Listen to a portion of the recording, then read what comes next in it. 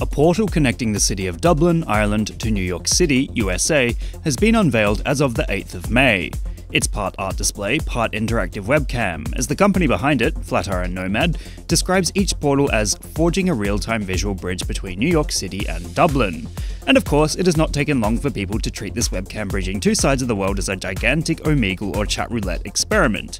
And just like Omegle or chat roulette, anything from public drunkenness, nudity, and the reminder of certain aviatic events that changed airport security forever seem to be fair game, as there are tons of videos of Dubliners really sticking it to Americans on the other side.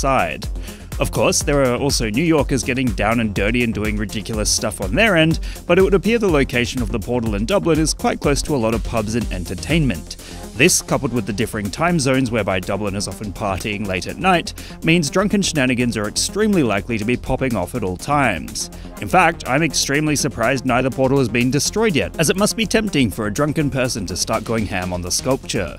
This behaviour, inspired by strangers interacting with one another and ways of preventing it, is explored in the article Understanding User Behaviour at Scale in a Mobile Video Chat Application, which takes a look at an application similar to the Portal in an app built called MV Chat.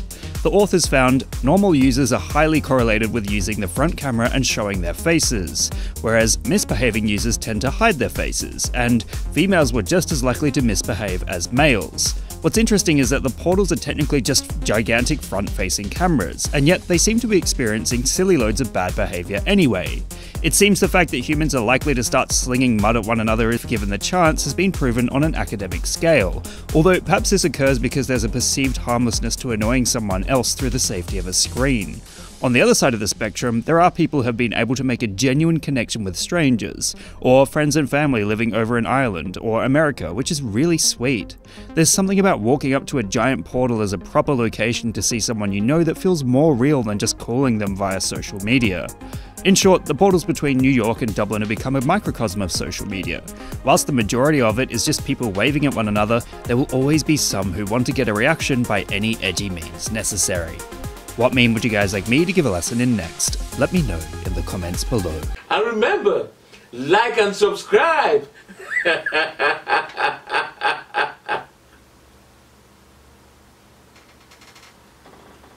or else...